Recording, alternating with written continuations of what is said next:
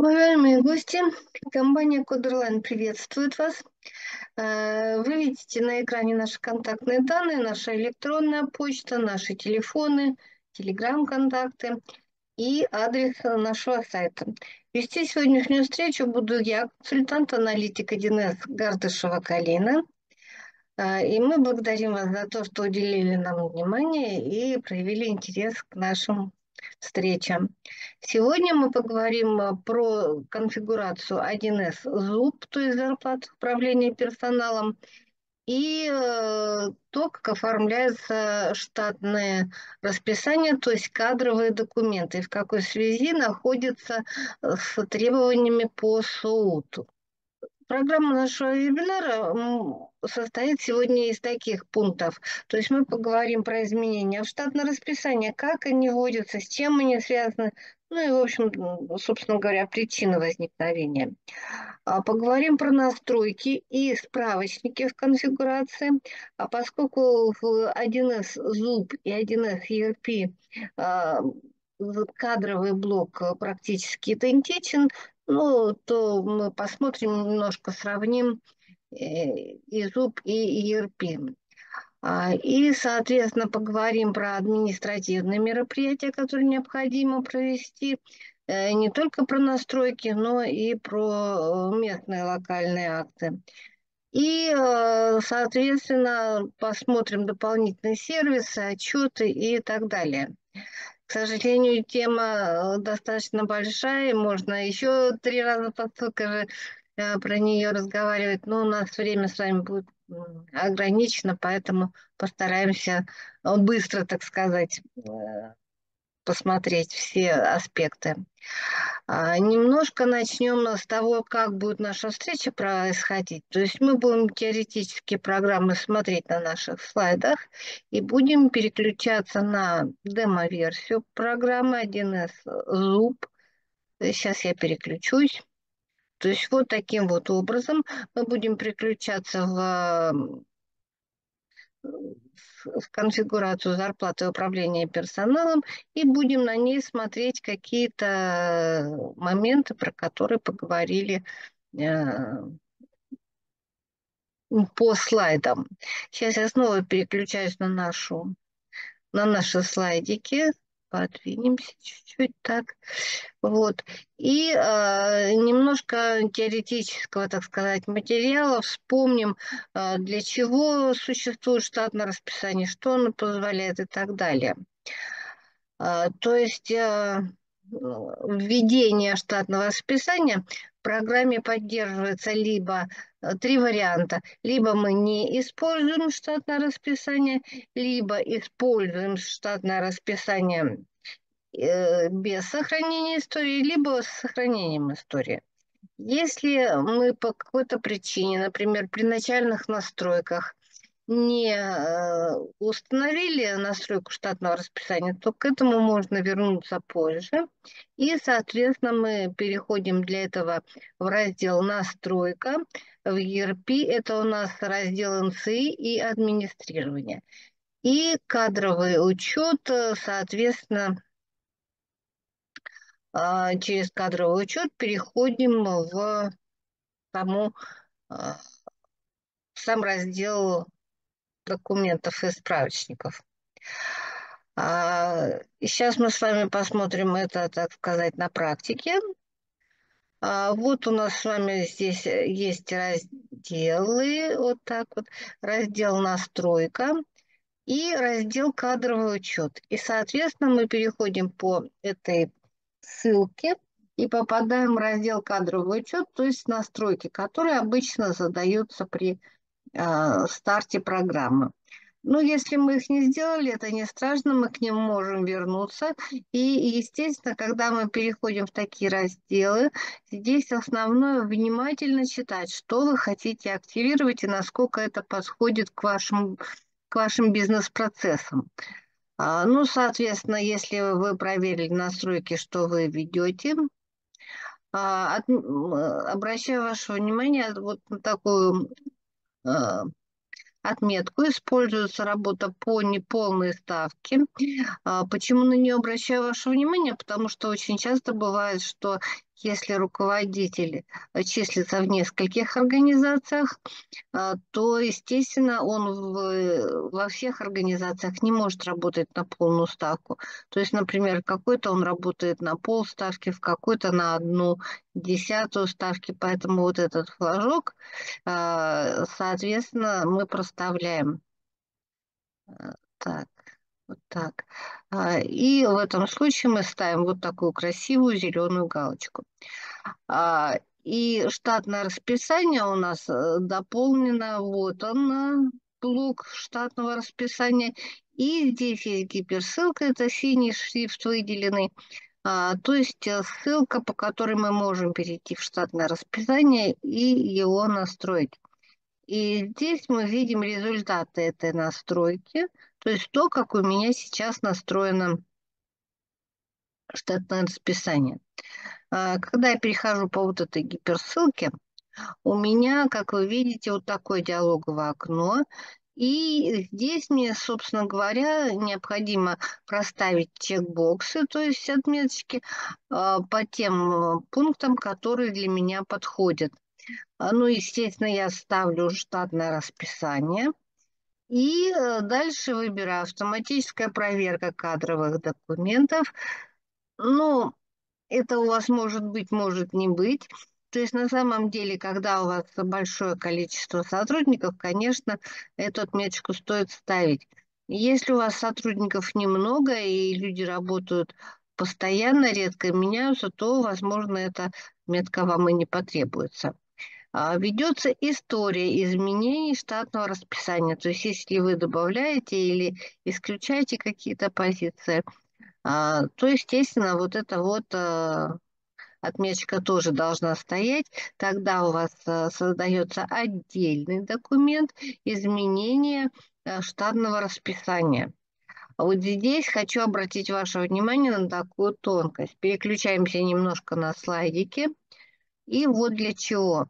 А, то есть, видите, у меня а, здесь выделено, что на функционала, по которому можно переименовать должность, а, в конфигурации нет. В 1С зуб такой, такая функция недоступна. Но это не значит, что мы не можем ничего сделать. То есть в этом случае мы создаем новую должность. Потому что если мы переименуем старую, то у нас возникнет много проблем на тему того, что э, по этой должности уже созданы документы, могут возникнуть пустые ссылки и так далее. В связи э, с тем, что у нас нет функции переименовать должность, то у нас возникает необходимость, естественно, если мы создаем новую должность, э, то есть мы ее вводим в штатное расписание и переводим сотрудников, которые должны на этой должности работать, через документ, э, через действующий документ переводим туда сотрудников. Снова переключаемся с вами в слайдики наши. Вот так.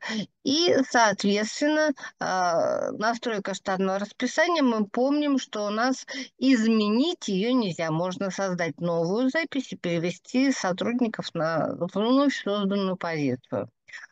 А что нам дает использование вилки, окладов и надбавок? То есть, если я сюда не ставлю отметочку, то я должна указать четко, а, как, какой оклад у меня по, этому, по этой должности согласно штатному расписанию. Если я ставлю вот здесь отметочку, то у нас э, доступна вилка окладов, ну, например, от 30 до 50 тысяч. Я могу проставить э, для должности любой оклад в этом диапазоне. А, в позиции штатного расписания используются разряды категории.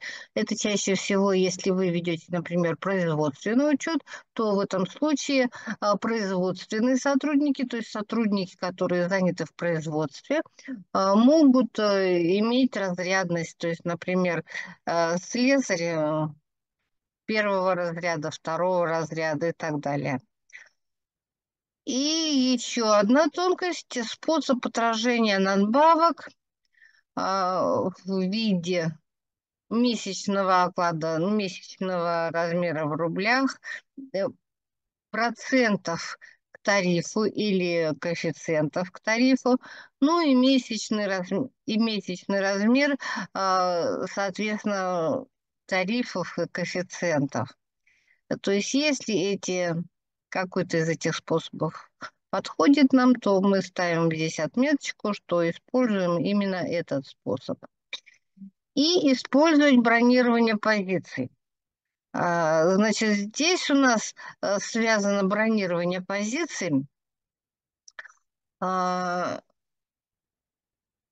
То есть, э, если у нас сотрудники по каким-то причинам а, временно отсутствуют на работе, допустим, и эта позиция забронирована за ними до возвращения их на рабочее место – и в течение скольки дней это бронирование будет действовать. А, собственно говоря, практически а, мы на практике именно проставляем отметочки во всех полях, ну и после того, как мы активировали функциональную опцию, мы можем уже переходить к конкретным документам. Ну, пусть я поставлю «Да», сохранить э, отчеты. И мы можем уже переходить к конкретным документам и э, использовать, соответственно, кадровый учет. А, в разделе «Кадры», как мы с вами видим, а, мы можем изменять определенные документы, но начинать мы должны с того, что мы штатное расписание пока не трогаем, а должны настроить еще подразделения и должности. Это два а, справочника, соответственно, подразделение – это орг, структура вашего предприятия. А, ну, у меня вот тут э, все, на что хватило фантазии, то есть самые разнообразные отделы и э, подразделения. А в разделе, так, сейчас мы это закроем, это нам не нужно. А в разделе а, должности. Естественно, у меня указаны должности, которые я себе тоже из орг-структуры должна создать. И вот здесь обратите внимание, мы затрагиваем не только сведения о предприятии, карточку, но и уже э, сведения, которые содержатся чаще всего в учетной политике. А учетную политику мы с вами можем посмотреть из карточки организации. А, как всегда, в 1С существует несколько вариантов, откуда мы можем посмотреть сведения про организацию. Но мы используем два наиболее распространенных. То есть первое – это через меню «Настройка». У нас здесь есть меню «Предприятия», э, меню организации, и мы попадаем вот в такой список, это то, что касается организаций, которые у меня созданы. Но у меня не созданы вот это как бы головная организация, а это два филиала. То есть для того, чтобы можно было показать на образцах, как в одном и в другом случае работать с конфигурацией. Мы возьмем э, для примера просто нашу головную организацию. И, как вы видите, здесь у нас куча всяких закладочек интересненьких, но нас будет интересовать другая интересненькая закладочка, учетная политика и другие настройки. То есть здесь нас, естественно, будет интересовать учетная политика, и э, мы проставляем, результ... проставляем чекбокс в одном э, интересном поле. То есть применяются специальные оценки условий труда. А, сейчас это обязательное требование, которое, в общем-то, возникло не первый день, это уже достаточно давно, когда применяется специальная оценка рабочих мест, и она, естественно, напрямую связана с нашей орг-структурой, то есть с нашими а, подразделениями, со справочником подразделений, которые мы задавали, и со справочником должности. То есть мы должны привести в соответствие э, должности с тем, что мы имеем э, в натуре. И эти должности должны проверить сотрудники организации, которая занимается проверкой условий труда и, соответственно, составить документацию по аттестации рабочих мест. То есть раньше это называлось аттестация рабочих мест, сейчас это САУД. А, и поэтому, э, собственно, будут требования предъявляться к каждой должности, такие, которые соответствуют э, законодательно закрепленным нормам. То есть, например, если у нас какие-то должности имеют повышенный коэффициент опасности, то, соответственно, у нас в этом случае может быть использована еще и вот такая вот настройка, то есть птичка, галочка, э, чекбокс, э, то есть сотрудники с правом досрочного выхода на пенсию, ну, например, сварщики, там определенные э, другие должности. А, то есть обычно чаще всего вот эти вот два флажка ставятся а, одновременно. А, и напомню, это мы с вами смотрим учетную политику. И, соответственно, учетная политика – это закладочка страховые взносы. И э, у нас с вами стоит флажок в настройках «Сохранить историю изменений». И здесь у нас есть э, история изменений наших э, сведений. А, закрываем этот. Да, пусть будет. А, и теперь немножко вернемся к нашим слайдикам. А, еще раз поговорим вот о чем. То есть, э, как вы знаете, САУД мы должны обеспечивать согласно законодательству в обычных условиях не реже одного раза в пять лет. То есть раньше можно было составить э, Э, отчет по САУД, э, ну, собственно, получить все необходимые документы, пять лет жить спокойно. Но э, сейчас у нас масштабные изменения, так сказать, происходят, и, собственно, САУД не обошло вниманием законодателей это тоже. А, но э, здесь у нас, скажем так, э, льготный режим, то есть э, мы должны обеспечить проведение САУД. В 2024 году были изменения, которые мы обязательно должны учитывать. А, изменения в отношении всех рабочих мест, то есть не каких-то выборочных, а именно всех. Но, в общем-то, слава богу, у нас эти изменения не такие уж глобальные. Но, тем не менее, документы о том, что проведена э, переоценка САУД, должны быть, потому что изменилась методика этой оценки. А не сказать, чтобы они имели глобальные такие изменения, революционные, но тем не менее. А вот если у вас этих документов не будет о том, что вы провели САУД согласно новой методике, то вот в этом случае вы рискуете нарваться на штрафы. И штрафы на самом деле достаточно, э, в общем-то, существенные. А, то есть если э, говорить про штрафы для должностных лиц и ИП, то в этом случае идет от 5 до 10 тысяч рублей. И для организаций от 60 до 80 тысяч рублей. А, но если это было повторное правонарушение, вот здесь э, суммы э, сильно изменяются, мы поговорим про, штраф, про штрафные санкции немножко попозже. А сейчас мы вернемся к настройкам. Э, вот следующий слайдик, а, вы видите, это то, что мы с вами уже посмотрели на практике. То есть э, это кадровый раздел настройки, а, подраздел кадровый учет и настройка штатного расписания. И вот э, здесь мы проставляем чекбоксы. А, мы их уже с вами посмотрели тоже на практике. Соответственно, согласно вашему бизнес, э, с вашим бизнес-процессом.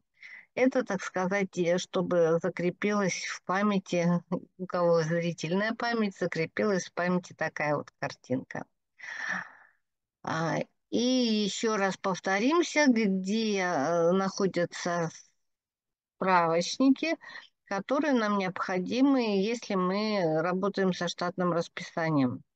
Э, то есть э, предполагаем, что у нас, э, например, штатное расписание до этого не велось, нам необходимо ну, построить его с нуля, если не было стартовых данных. А,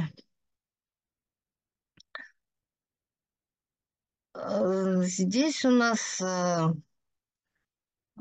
специальная оценка, э, то, что я вам рассказывала, то есть если результаты специальной оценки мы учитываем в э, конфигурации и, соответственно, как я говорила, выше на строчечку тоже мы ставим отметку, что есть сотрудники с правом досрочного выхода на пенсию, и э, поскольку это чаще всего совпадает с результатом э, специальной оценки, если есть э, специальная оценка. То есть э, один из зарплаты управления персоналом позволяет нам вести э, учет в САУД. И сейчас мы с вами переключимся и посмотрим еще на демо-базе ERP. То есть вот у нас демо-база ERP и блок кадры – как вы видите, он очень похож э, по строению, практически идентичен э, кадровому блоку в зарплате и управлению персоналом. Поэтому, в общем-то, там, где будут различия, я покажу на ERP-шной демобазе. Но практически, поскольку одинаковые, то мы будем чаще обращаться к ЗУПу. Вот, как вы видите, у нас здесь справочники, которые мы там тоже заполняем. И, соответственно, если вы ведете э, зарплату, например, захотели ввести зарплату управления персоналом в, в программе в конфигурации ERP, то вам достаточно выполнять те же правила, которые существуют для ЗУПа. То есть практически кадровый учет идентичен и введение зарплаты, в общем-то, похоже. Разница состоит в блоке производства, потому что в ERP производство гораздо более, скажем так, углубленно можно э, отражать, в отличие от э, ЗУПа. Снова переключаемся на наши слайдики и э, поговорим еще вот о чем. А, как вы знаете, у нас произошли изменения в связи, а, ну, еще даже не с налоговой реформой, в связи с законодательными изменениями, которые происходили. А дальше будут еще изменения, которые связаны с налоговой реформой, то есть приводятся в соответствие все подблоки, соответственно, и в конфигурациях тоже появляется новый функционал и э, изменения в регламентированную отчетность. Значит, сейчас с вами посмотрим слайдик, который иллюстрирует, какие у нас изменения произошли. А, ну, во-первых, как вы знаете, у нас по НДФЛ большинство изменений произошло. То есть, э, ну, во-первых, новые сроки уплаты НДФЛ – два НДФЛ, два уведомления по НДФЛ мы посылаем. Во-вторых, НДФЛ для дистанционных работников. А, в-третьих, это НДФЛ с дивидендов. А, соответственно, новые пределы для разъездных э, работников, то есть, например, для транспортных организаций и для тех, кто применяет вахтовый метод. Э, то есть у них отменены не то что отменены, а введены лимиты э, для необлагаемых НДФЛ сумм. И если раньше вся сумма, например, суточных или командировочных, не облагалась НДФЛ для таких работников, то теперь а, только 700 рублей по России и 2500 рублей для зарубежных стран не облагаются НДФЛ. Остальное, пожалуйста, вы можете начислять, но это уже облагаемые НДФЛ суммы. А, возобновился НДФЛ с материальной выгоды.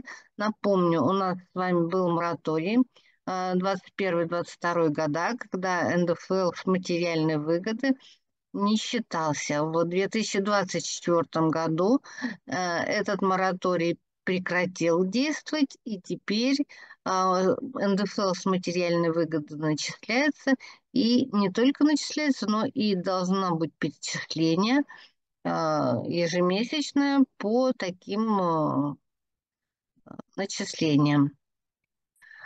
Во-вторых, у нас отмена перечисленного НДФЛ и, как вы знаете, новая форма 6 НДФЛ, мы уже сдаем ее с первого квартала, то есть это новая форма регламентированной отчетности.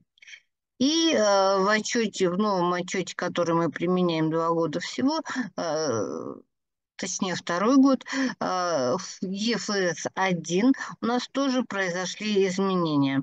А, то есть в разделе 1.1 у нас появились новые виды договоров и коды выполняемых функций. И э, в разделе 1.2 у нас появился новый тип сведений, добавился список назначения выплат по ОСС. Ну, соответственно, форма АДВ, АДВ-6 и СЗВ тоже у нас э, обновились. И э, новые реквизиты мы в карточке сотрудника указываем. Это в случае, если они проживают на вновь присоединенных территориях. Ну и по мелочевке там тоже у нас есть технические э, изменения, которые произошли. Которые, в общем-то, не несут э, таких революционных изменений, но, тем не менее, присутствуют. Как вы видите, эти изменения у нас э, при э, обновлении программы учтены, то есть э, изменение регламентированной отчетности, форм регламентированной отчетности у нас при э, новых релизах, при обновлениях учтено, и сейчас переключимся на такую, на нашу версию, на зуб. А, и напомню, посмотреть, какой у вас релиз, вы можете вот по этой пиктограммке, соответственно, вызываем выпадающее меню, и нас интересует пункт о программе сведения, и вот такая пиктограммка – это и информация. А, значит, информация о программе у нас вот тут отражается сведения о платформе, и вот здесь отражаются сведения о конфигурации.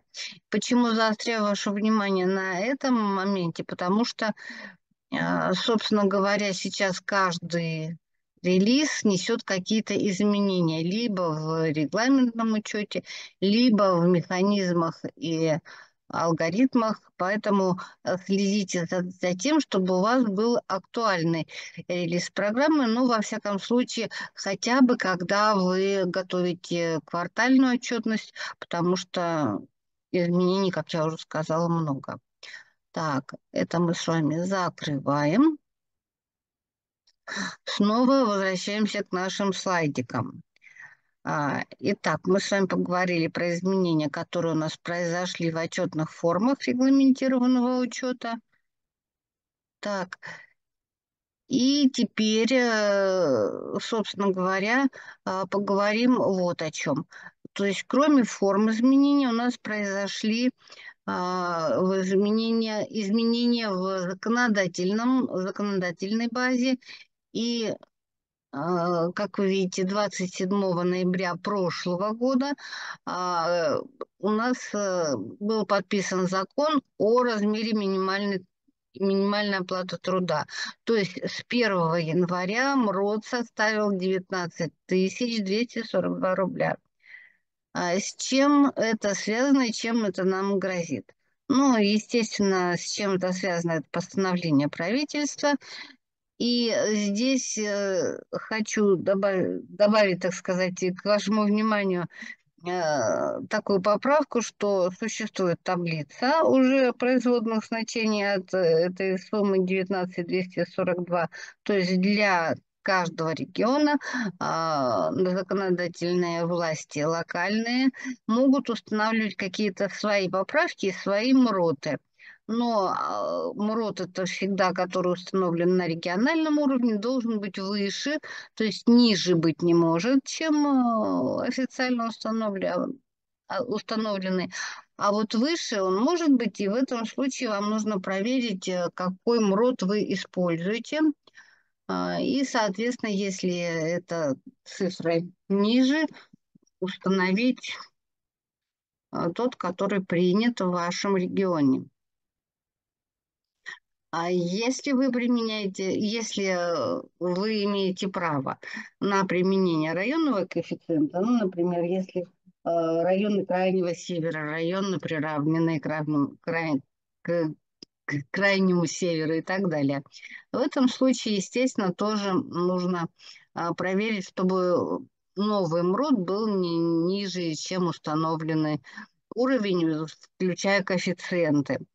А, и вот на этом моменте вы должны проверить еще и штатное расписание на соответствие этим законодательным актам. То есть в вашем штатном расписании должно быть указано а, значение, соответственно, нового МРОТа и коэффициента либо районного а, размера повышенного МРОТа. А, и э, на этом не, мы не успокаиваемся, к сожалению. И э, кроме того, что мы исправили в штатном расписании, у нас предстоит достаточно большая бумажная работа, потому что мы должны каждому трудовому соглашению или трудовой, трудовым договорам а, заполнить дополнительное соглашение, соответственно, с новым уровнем МРОТа и с новым размером э, оклада или тарифа, в зависимости от того, что вы применяете. То есть у нас должно возникнуть два локальных нормативных акта. Во-первых, это должно быть указано в приказе, где мы изменяем размер МРОТа. Во-вторых, это должно быть указано в штатном расписании. И в-третьих, мы должны э, э, выпустить дополнительные соглашения к трудовым договорам об изменении уровня зарплаты сотрудников. А, с 1 сентября, то есть это еще через три месяца а, у нас э, вступит в законную силу приказ 817 о проведении специальной оценки условий труда и э, классификатора вредных и опасных э, производственных факторов. Это как раз ситуация, когда мы с вами говорили о том, что э, необходимо оформить документы на э, соответствие САУД. То есть вот это вот постановление 817 отменяет э, действующие прежде инструкции и приказы, которые регулировали э, действия, оценок, действия по оценке труда. То есть, соответственно, вы должны своевременно подать заявки в организации, которые имеют право проводить э, оценку труда и составлять нужную документацию, то есть сертифицированная организация. На самом деле э, в этом плане уже, к сожалению, достаточно напряженная ситуация, потому что э, как бы требования касаются всех предприятий и, естественно, уже, к сожалению, организовались очереди. А, собственно говоря, сейчас я покажу следующий слайдик, который у нас иллюстрирует а, мероприятия, которые должны проводиться. Ну, подготовительный этап – это мы выбираем организацию, которая нам проводит э, исследование, заключаем с ней договор и так далее. Те, кто относится к крупным мероприятиям или, э, например, работает э, с э, госзаказами, соответственно, должны провести тендеры, что тоже, в общем-то, не дело одного дня, ну и так далее.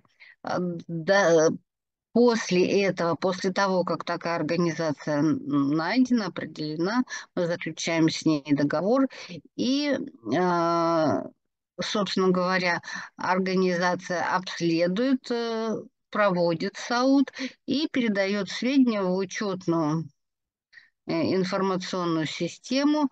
И, э, собственно говоря, учет ведется еще и в этой параллельной системе, параллельно вашим учетным данным, которые вы ведете, а, допустим, вот в 1С бухгалтерии.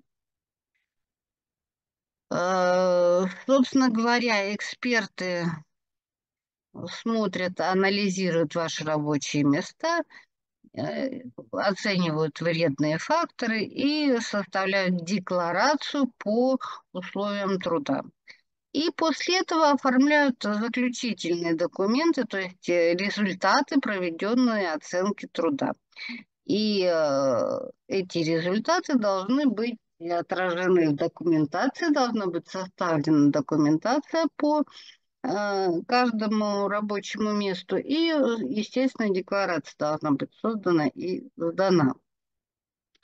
А, поэтому, видите, официальный, скажем так, официальный блок работ достаточно большой, и э, организации, которые имеют право выполнять САУД, сейчас, э, ну, в общем-то, на расхват. А, теперь мы с вами еще поговорим э, вот о чем.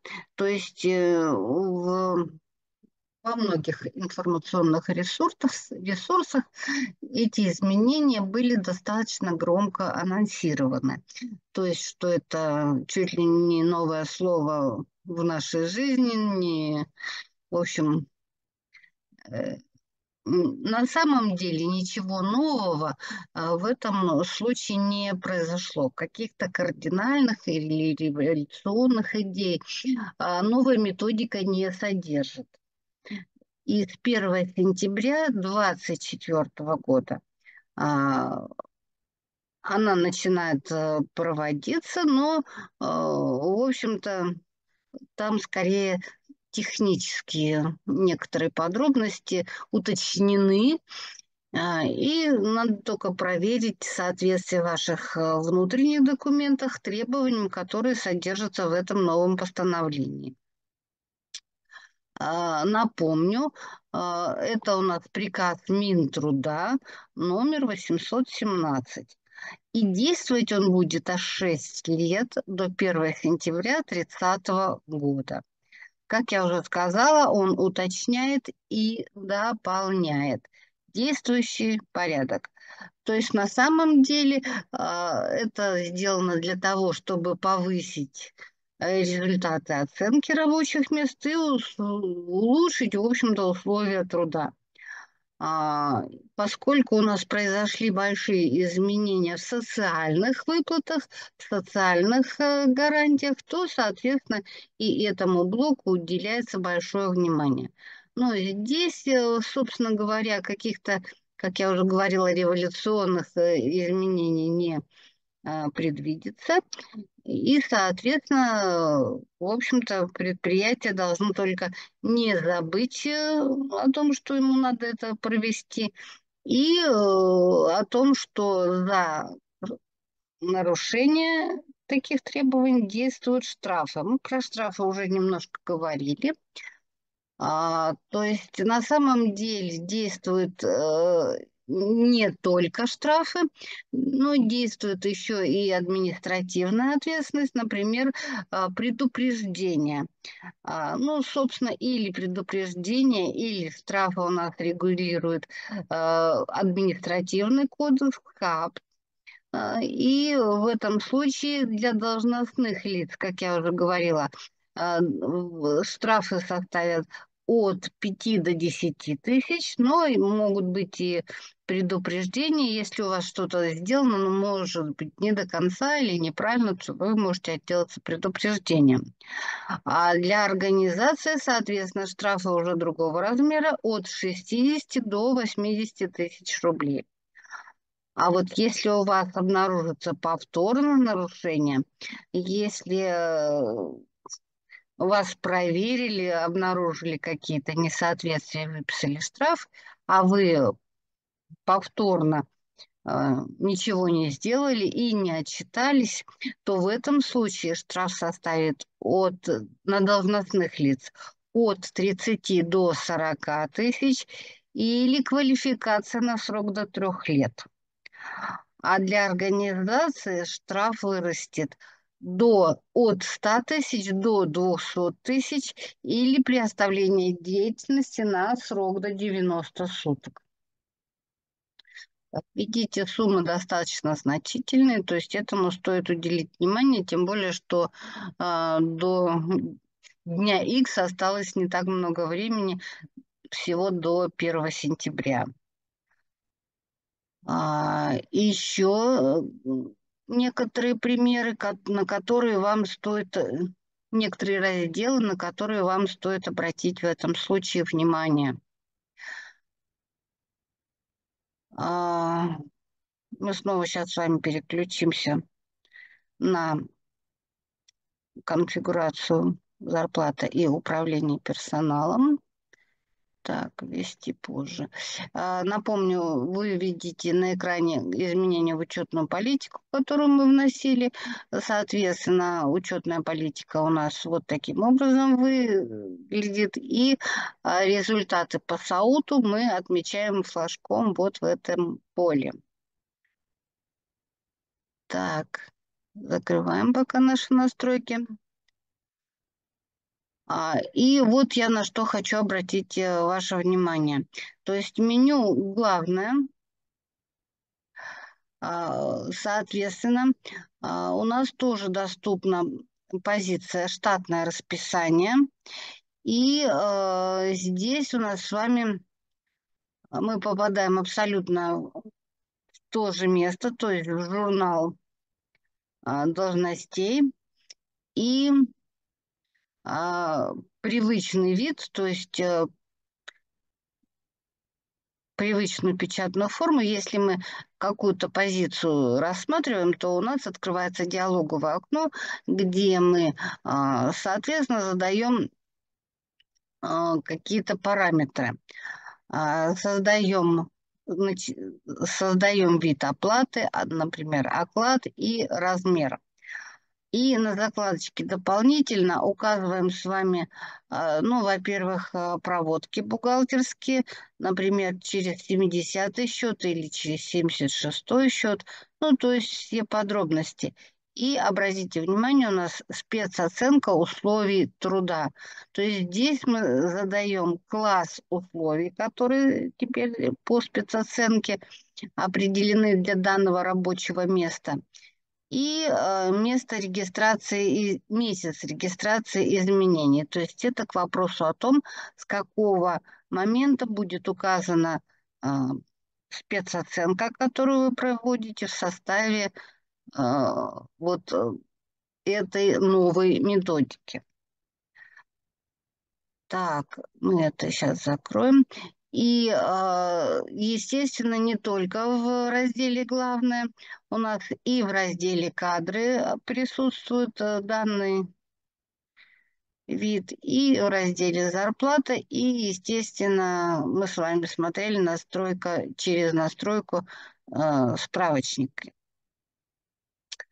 А, значит, привычный вид документа, то есть штатного расписания – а, мы сейчас здесь вот сделаем самый простой вариант. А, снова возвращаемся в перечень а, должностей. И при печати, при нажатии на кнопку «Печать» мы получаем возможность выбрать нужные печатные формы.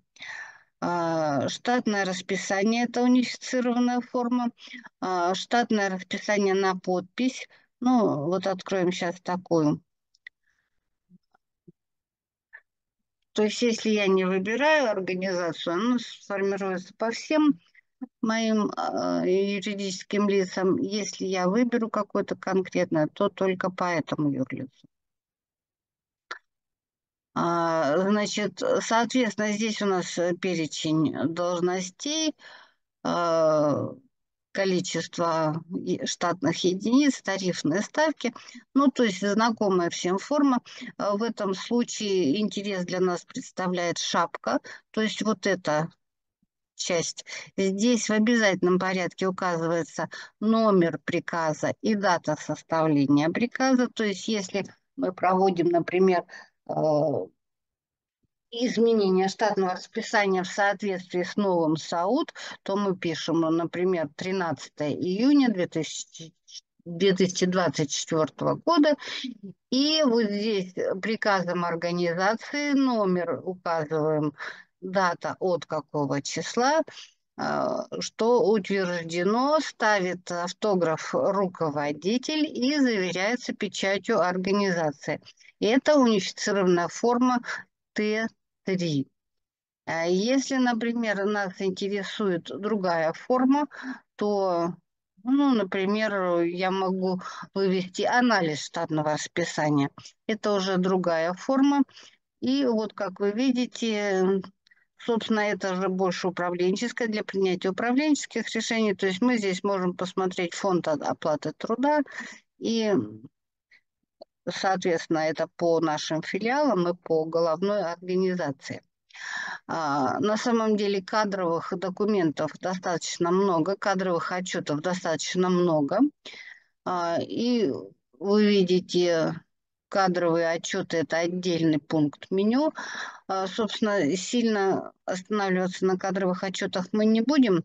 А, но, как вы видите, здесь э, достаточно большой перечень отчетов. И э, кадровые отчеты, и отчеты по другим, э, собственно говоря, разделам. Но я хочу остановиться а, на таком моменте, как отчетность для военкоматов. А, как вы знаете, у нас э, отчетность э, по воинскому учету, ей сейчас уделяется очень большое внимание. И, э, соответственно, самые крупные штрафы, которые связаны с кадровым учетом, у нас сейчас касаются воинского учета. А, здесь сейчас мы переключимся с вами на демо-базу, ой, на наши слайдики.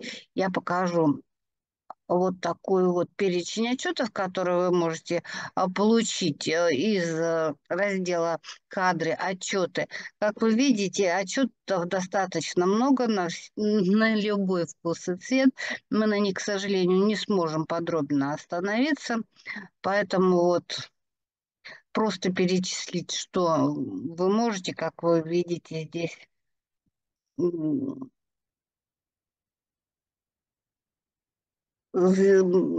Только перечисление займет определенное время. А вот э, следующий слайдик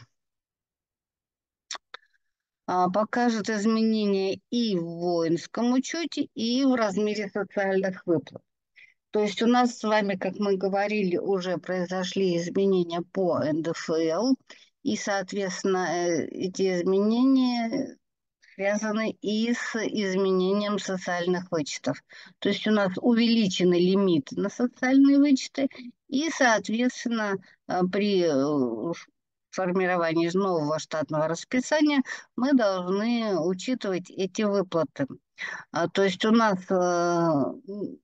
перечень э, социальных выплат, в общем-то, порядка 11 пунктов. И самые часто употребляемые – это вычеты на ребенка, на лечение, на обучение. Э, собственно говоря, эти выплаты у нас с вами изменился лимит э, Социальный вычет э, в прошлом году составлял 120 тысяч, сейчас он увеличился до 150 тысяч. И больше всего повышен вычет на обучение детей. Э, в этом случае у нас лимит 110 тысяч на обоих родителей. Ну и э, прогрессивная ставка НДФЛ 13-15%, соответственно, если начисление свыше 5 тысяч, если больше 5 миллионов а, рублей, то ставка прогрессивная 15%. А, И теперь, э, как мы с вами уже говорили, э, у нас вычеты существуют на обучение собственно, то есть кроме детей, на обучение детей, на лечение сотрудника, на физкультурно-оздоровительные услуги, что сейчас, в общем-то, очень популярно, на обеспечение пенсионное, а, на добровольное страхование и накопительную пенсию. И вот очень редко используемый вычет – а, ну, который, тем не менее, имеют право сотрудники получить, это на независимую оценку квалификации налогоплательщика. Этот вычет работодатели не предоставляют, а вот работник может заявить этот вычет а, в налоговый орган, если он подает декларацию. А, и еще один момент очень важный – это вот сейчас мы с вами посмотрим слайдик, который демонстрирует, а, как мы с вами можем активировать воинский учет. То есть это то, о чем я говорила немножко выше. Он а, и в зарплате, и в ERP требует э, дополнительной активации. А активация делается тоже через кадровый учет. И чуть-чуть ниже настройки штатного расписания, мы с вами увидим вот такой выделенный красным блок. Переходим к нему. Переходим к нему. Значит, так, закрываем то, что нам уже не нужно. А, значит, настройка.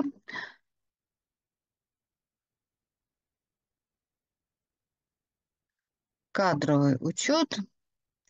И, а, значит, вот у нас с вами раздел настройки штатного расписания, и сразу за ним следует блок воинского учета. Значит, когда мы проставляем вот здесь э, чекбокс, то есть красивую зеленую галочку, э, у нас появляется в разделе кадры блок воинского учета. А, и это добавляет нам одну форму регламентированной отчетности, которую мы сдаем в военкомат. Когда мы проставляем вторую галочку здесь вот, то есть если мы э, хотим вести учет бронирования граждан, если мы имеем такое право, то этот э, флажок добавляет нам еще две формы регламентированного учета в военкомат и, соответственно, тоже мы видим отражение в разделе «Кадры», допустим. Сейчас мы с вами... Вот э, появляется блок воинского учета. И здесь, соответственно, документы, которые мы можем создать, э, ну, практически все это автоматизировано. Все сведения, которые, допол... которые нам доступны здесь, имеются. И, например, вот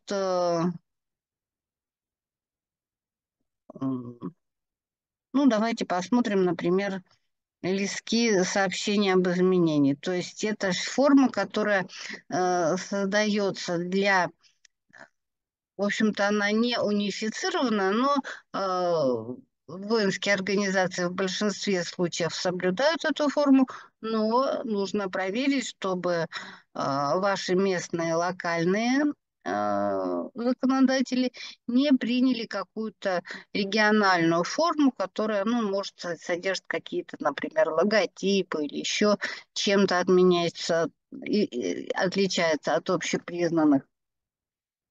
Э, ну, то есть а, в этом случае, то есть когда мы активируем а, введение воинского учета, а, ну, во-первых, надо подчеркнуть, что вести воинский учет обязаны все организации, даже если у вас работают одни женщины, то все равно надо вести воинский учет, потому что есть женские специальности, которые подлежат воинскому учету, то есть военно обязаны, например, врачи, связисты. А, ну, есть целый перечень операций, перечень а, специальностей, женских специальностей, которые подлежат воинскому учету. А, Сейчас мы с вами снова переключимся и посмотрим вот такую информацию нормативную. А, значит, почему у нас э, возникли очень большие а, штрафы? Потому что теперь немножко, совсем на чуть-чуть изменилась законодательная база по работе военкоматов с работодателями, и теперь военкоматы обязаны а, передавать работодателям все сведения по а, сотрудникам. То есть, например, вызов в военкомат, повестки и так далее. То есть теперь они передаются не сотруднику, а работодателю. И работодатель должен в течение пяти рабочих дней э, подать сведения о приеме, об увольнении, о введении новых должностей, допустим, ну, все сведения, которые касаются кадровых мероприятий. И э, в этом случае, если э, организация не передает какие-то сведения сотруднику, то есть, например, не, не передает сведения о вызове его на военные сборы или информацию о призыве, то есть не передала повестку, то вот в этом случае получаются максимальные штрафы. Но а, предприятие может э, подать, например, сведения, что оно не смогло вручить э, соответствующий, э, соответствующий документ, но не просто так со сообщить, что оно не смогло передать документ, а подтвердить э, то, что оно не смогло это сделать сотрудникам, но с указанием сотрудника ФИО, должности и, соответственно, росписи, то есть свидетельских, так сказать, показаний. А, соответственно, вот видите, здесь у нас э, как это должно быть оформлено. И вот такие э, сведения, то есть э, кто подлежит воинскому учету и э, касательно женщин, что женщины находятся до 50 лет, ну, мужчины, соответственно, призывной, призывной возраст до 70 лет, ну и зависит это от должности, от звания. А вот что теперь э, здесь э, вам нужно на предприятии создать локальный нормативный акт, который э, ну, наравне с учетной политикой утверждает документооборот по воинскому учету. Самый оптимальный вариант, чтобы это был было приложение к учетной политике, также введено в, введено в использование на основании приказа и, как например, перечень по делопроизводству бухгалтерскому или налоговому э, должно содержать название папок, какие папки что содержит, и обязательно завести журнал проверок для воинского учета. То есть, э, что это происходит не на словах, а на основании документов, соответственно, распоряжение на проведение проверки или э, название документа, по которому к вам пришли проверять, и фамилия, имя, отчество проверяющих сотрудников. Ну вот, в общем-то, все, что мы успели с вами сегодня а, поговорить по поводу а, воинск... по поводу штатного расписания, воинского учета, а, САУД. А, я хочу снова вернуться к на, началу нашей встречи, к слайдику а, с нашими реквизитами, то есть напомнить вам наши контакты. А, напомнить, что если вам что-то показалось неудобным, то вы можете вернуться на наш сайт. Через некоторое время мы выкладываем записи наших вебинаров, и вы можете посмотреть, если, например, время вам оказалось неудобным. А, и, возможно, какие-то другие материалы вас заинтересуют. Мы будем очень рады и предлагаем вам сотрудничество, то есть а, мы, мы с удовольствием ответим на ваши вопросы, которые вы можете любым удобным для вас способом передать э, по телефону, по телеграм-контактам, по электронной почте и так далее. И, собственно говоря, предложить сотрудничество. Мы будем рады оказаться вам полезными. А, у нас большой опыт э, при проведении работ с программами 1С и продажи, и внедрения, и настройка, и доработка. Так что милости просим. А, на этом мы разрешите с вами попрощаемся и всего вам доброго, хорошего дня.